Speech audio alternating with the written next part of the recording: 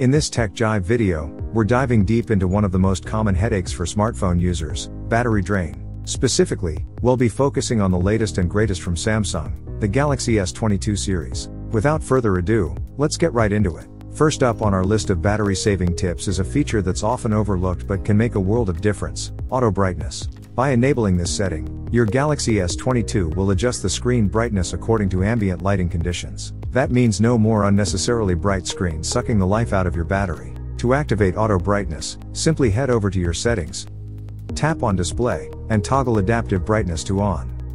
Moving on to our next tip, disabling the always on display feature. Sure, having quick access to time, notifications, and other important info at a glance is convenient, but it can also be a battery hog. To disable this, head over to your settings. Then go to lock screen. Find the always on display option, and choose a more conservative setting.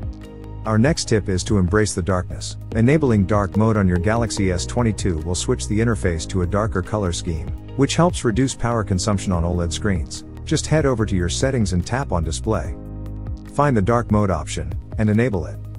Now, let's talk about charging habits. It's tempting to use your device while it's charging. But here's the thing, it can actually slow down the charging process and put unnecessary strain on your battery. So, resist the urge to play games or binge watch your favorite shows while charging. Instead, give your Galaxy S22 some uninterrupted charging time. Trust me, your battery will charge faster and last longer in the long run.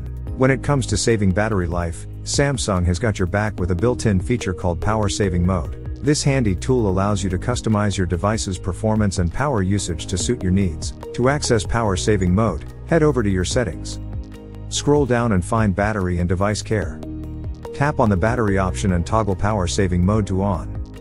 You'll have the option to choose between different power saving levels, depending on how much juice you want to conserve. Experiment with the settings and find the right balance between performance and battery life. Last but not least, let's take a closer look at your battery usage. Your Galaxy S22 provides you with detailed information about which apps and services are consuming the most power. Head over to your settings and choose battery.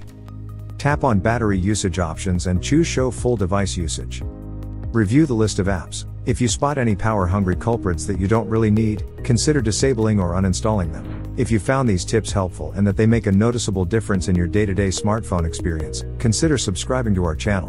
Do you have other tips to prevent battery drain? Let us know in the comments below.